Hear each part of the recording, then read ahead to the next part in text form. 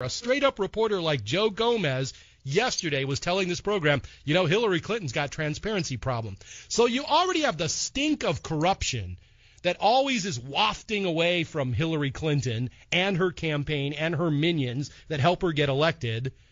And you can't help but go, really? A bunch of voters purged from the voter rolls since November in the borough where Bernie Sanders was born. And they say to us, gosh, Iowa, we just don't think you ought to be first in the nation anymore. I don't believe it. I don't believe it. I don't buy into it for one moment.